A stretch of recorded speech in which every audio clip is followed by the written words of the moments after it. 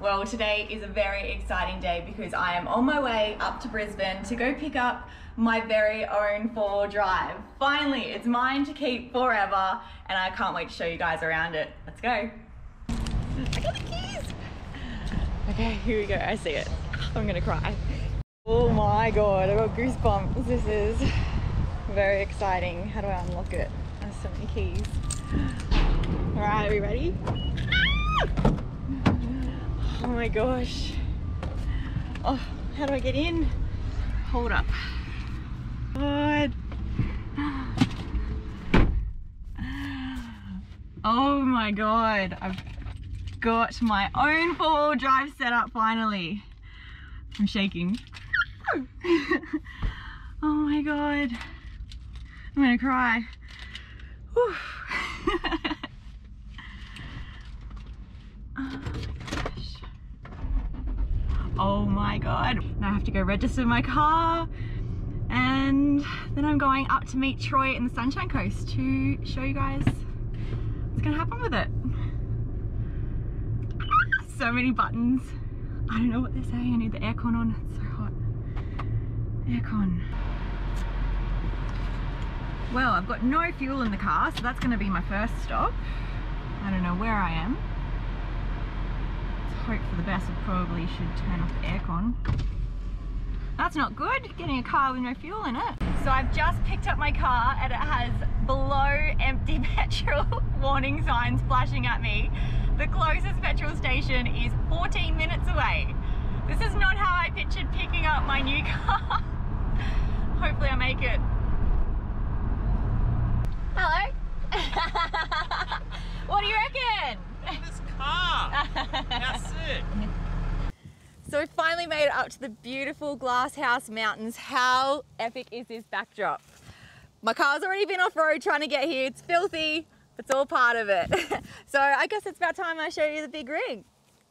Well, here it is, my Toyota FJ Cruiser. I am a Toyota girl at heart and I just couldn't go past this rig. I've seen them all around the coast. Uh, living on the Gold Coast, this is my daily. So I wanted something that would be have the capability if I wanted to go around Australia, but also be able to fit into my city everyday life. So Toyota FJ it is. So it's not your stock standard FJ Cruiser. It's got a couple of aftermarket add-ons which I'll run you through. Uh, we'll start at the front. So it's got the TJM uh, bull bar, it's got Lightforce spotlights and LED strip up the top on the roof racks.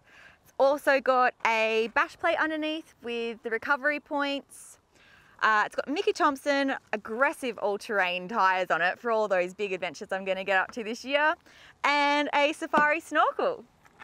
Coming around to have a look at the side, we've got the rock sliders, uh, aftermarket suspension, front and rear diff lockers, and we've got some black alloy rims to match my black and white theme.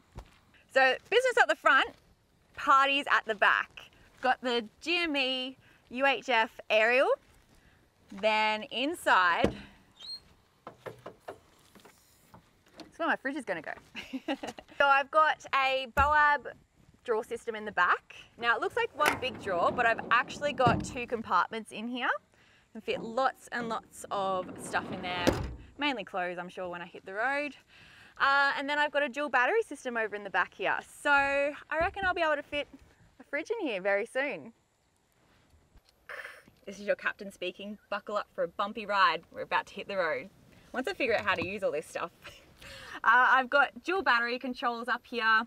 Oricom UHF, uh, light controls and a few other buttons that I don't really know how to work yet. I'll figure it out though. Also, how's this for luxury? Got an armrest.